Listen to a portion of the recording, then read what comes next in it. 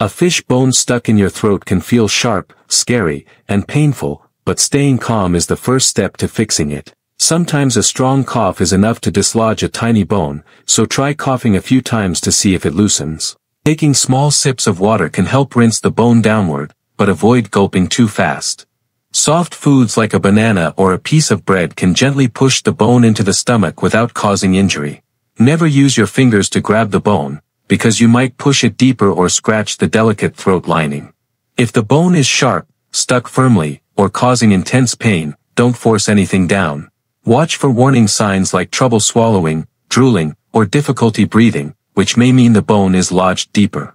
In these cases, you need medical help right away.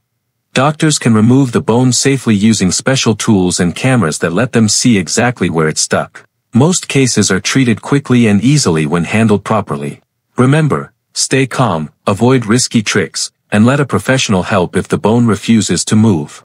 And if you found this helpful, don't forget to like, share, and subscribe for more 3D medical tips.